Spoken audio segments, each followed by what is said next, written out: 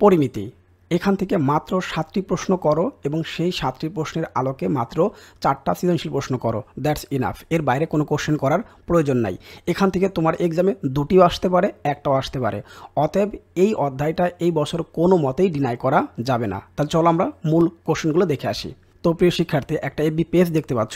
এখানে প্রায় বারো হাজার শিক্ষার্থী এখন পর্যন্ত জয়েন করেছে। তুমি চাইলে জয়েন করতে পারো। এতে করে কখন কোন ভিডিও আপলোড করা হবে, সেটা তুমি কিন্তু আগেই জেনে যাবে। আমি সবসময় এখানে আপডেট দিয়ে থাকি।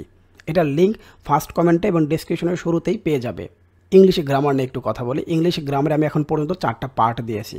আমি পরবর্তী পার্টটা দিব আগামীকাল। সেই পার্টটা কতটুকু ভালো হবে, সেটা তোমরা বুঝতে পারবে। এই গ্রামার নিয়ে এখন পর্যন্ত এরকম ভিডিও তুমি কখনো দেখো ইংলিশের গ্রামারের পাঁচ নাম্বার যে পর্বটা চেঞ্জিং সেন্টেন্স নিয়ে, সেটা দেখলেই তুমি বুঝতে পারবে সেটা আগামীকাল আসতেছে। পরিমিতি, অনেকে এই অধ্যায়টাকে বাদ দিতে চাচ্ছ। খুবই খারাপ হবে সিদ্ধান্তটা নেওয়া আবারও বলতেছি, পরিমিতি এই বছর তোমাকে করতেই হবে।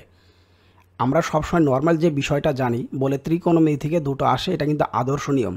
ত্রিকোণমিতি থেকে দুটো কোশ্চেন আসে আর পরিমিতি থেকে একটি আসে। কিন্তু শর্ট সিলেবাস করার কারণে ত্রিকোণমিতির অংশটা ছোট হয়ে গেছে পরিমিতির তুলনায়। কারণ নাই নাইন পয়েন্ট ওয়ান এবং নাইন পয়েন্ট টু আর এদিকে হচ্ছে সিক্সটিন পয়েন্ট ওয়ান থেকে সিক্সটিন পয়েন্ট ফোর পর্যন্ত। অনেকগুলো ম্যাথ অতএব এটা কোনোভাবেই ডিনাই করা যাবে না। হ্যাঁ পরিমিতি থেকে একটা আসতে পারে, ত্রিকোণমিতি থেকে দুটো আসতে পারে। তাহলে তোমাকে সাপোর্ট হিসেবে নিতে হবে। আর সাপোর্ট হিসেবের জন্য আমি তো আসি মাত্র সাতটা প্রশ্ন এবং তার আলোকে কিন্তু মাত্র চারটি সৃজনশীল প্রশ্ন দিচ্ছি। আর আমার লাইভ ক্লাসে এখন পর্যন্ত দুশো চুয়াত্তর জন শিক্ষার্থী ভর্তি হয়েছে। আলহামদুলিল্লাহ, তাদের রেসপন্স খুবই ভালো। তাদের কাছে আমি যে কোশ্চেনগুলো দিই, তোমাদের কিন্তু সেই কোশ্চেনগুলোই দিচ্ছে। তোমরা হয়তো উত্তরপত্রটা একটু পরে পাচ্ছ, কিন্তু তোমরা অবশ্যই সেটা পাবে। আর সকল বিষয়ের কিন্তু এখন পর্যন্ত আমার রিটার্ন পার্ট দেওয়া শেষ এবং কয়েকটা সাবজেক্টে কিন্তু এমসিকিউ দেওয়া শেষ।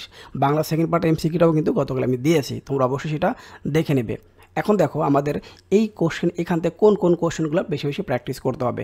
প্রথমে এক নম্বরে দেখতে পাচ্ছ, এটা হচ্ছে ষোলো দশমিক চারের সতেরো নম্বর অঙ্ক। এইটার অনুরূপ একটা ম্যাথ। ষোলো দশমিক চারের সতেরো নম্বর যে ম্যাথটা আছে, আর ম্যাথ নিয়ে আমার পার্ট কিন্তু বাকি ছয়টা পার্টের লিঙ্ক আজকে আমি ডেসক্রিপশন এবং ফার্স্ট কমেন্টে শুরুতেই দিয়ে রাখব। যারা যে পার্টটা মিস করেছে সেটা ক্লিক করে দেখে নিতে পারবে। তাহলে প্রথমে দেখতে পাচ্ছ সবচেয়ে বেশি ইম্পর্ট্যান্ট ম্যাথটা হচ্ছে কোনটা? সেটা হচ্ছে ষোলো দশমিক চারের সতেরো নম্বরটা। একটি লোহার পাইপের ভিতর এবং বাইরের ব্যাস যথাক্রমে আঠারো সেন্টিমিটার এবং বিশ সেন্টিমিটার এবং পাইপের উচ্চতা চার মিটার।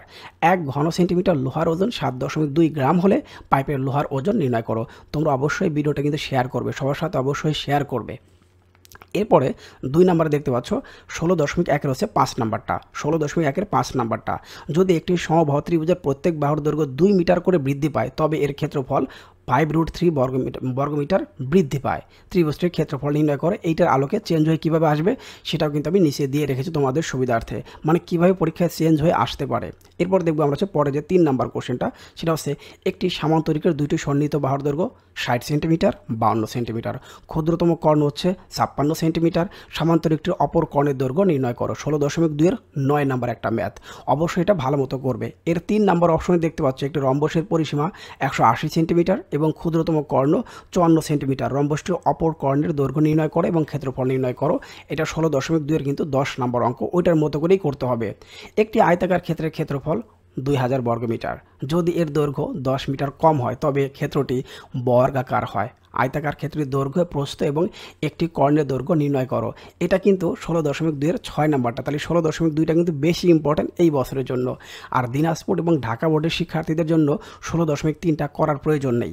এরপর দেখো, পাঁচ নম্বর যে কোশ্চেন একটা ট্রাপিজিয়ামের সমান্তরাল বাহুদের দৈর্ঘ্য যথাক্রমে একষট্টি সেন্টিমিটার এবং হচ্ছে একচল্লিশ সেন্টিমিটার এবং অপর দুই বাহুর দৈর্ঘ্য পঁচিশ সেন্টিমিটার এবং পনেরো সেন্টিমিটার হলে ট্রাপিজামের ক্ষেত্রফল নির্ণয় করো।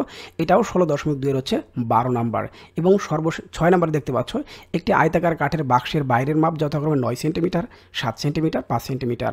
এটা কিন্তু ষোলো দশমিক চারের এগারো নম্বর একটা প্রশ্ন দেখতে পাচ্ছ। এটা খুবই গুরুত্বপূর্ণ চলতি বছরের জন্য যে কোনো একটা বোর্ডে সরাসরি সেম কোশ্চেনটা চলে আসতে পারে। এরপরে পরে যে কোশ্চেনটা আছে সেটা হচ্ছে সাত নম্বর সর্বশেষ আমাদের কোশ্চেনটা একটি ধাতব ঘনকের ধার যথাক্রমে তিন, চার এবং পাঁচ সেন্টিমিটার ঘনক তিনটিকে গলিয়ে একটি নতুন ঘনক তৈরি করা হলো। নতুন ঘনকটির সম্পূর্ণ পৃষ্ঠের ক্ষেত্রফল এবং কর্ণের দৈর্ঘ্য নির্ণয় করো। এটা কাজ হচ্ছে তিনশো বিশ নাম্বার পেজের এই কাজটা তোমরা অবশ্যই করবে।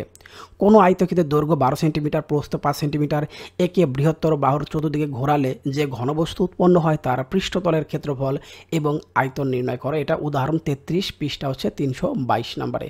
এই ছিল আমাদের কিন্তু টোটাল ম্যাথ এখন এই ম্যাথগুলোর আলোকে কীভাবে সৃজনশীল প্রশ্ন হবে একটু দেখে নাও। তাহলে উনত্রিশ নম্বর সৃজনশীল তোমাদের বলেছিলাম। তেত্রিশ থেকে ছেচল্লিশটা সৃজনশীল প্রশ্ন তোমাদের দিব জাস্ট এগুলো করলেই কিন্তু হবে।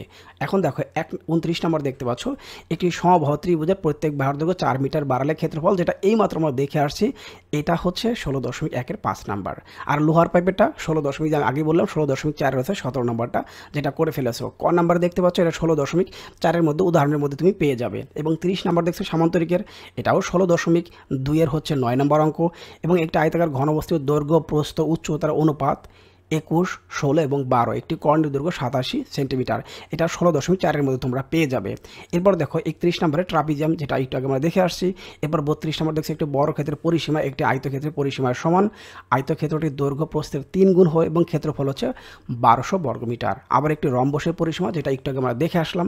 এটা কিন্তু আমাদের উপরে যে কোশ্চেনটা দেখতে পেলে, এই কোশ্চেনটা কিন্তু আমাদের ষোলো দশমিক এক, ষোলো দশমিক দুইয়ের হচ্ছে পাঁচ নাম্বার। ষোলো দশমিক দুইয়ের পাঁচ নম্বর এবং নয় দশ নম্বর সম্মিলিতভাবে কিন্তু একটা সৃজনশীল প্রশ্ন দেখতে পাচ্ছ। এই হচ্ছে আমাদের বত্রিশটা। মাত্র আর দুটি পার্ট বাকি আছে। এই দুটি পার্ট হয়ে গেলেই তোমাদের সেই কাঙ্ক্ষিত দুইশো নিরানব্বইটা এমসিকিউ দিব। ম্যাথের ক্ষেত্রে। আমার এই সাজেশনের বাইরে তোমার এক্সট্রা কোনো ম্যাথ করার প্রয়োজন নাই। কোনো টেস্ট পেপার দরকার নাই, কোনো মূল বইয়ের দরকার নাই। জাস্ট এগুলো বারবার প্র্যাকটিস করো। আবার বলতেছি, আর যেসব মানুষ আমার ভিডিওগুলো কপি করতেছেন বা তার ইউটিউবে দিচ্ছেন লিখে লিখে, আমি কিন্তু এখন স্ট্রাইক দেইনি আপনাদের সুবিধার্থে। তো এখনও বলে এগুলো বন্ধ করুন। শুভেচ্ছা নিরন্তর।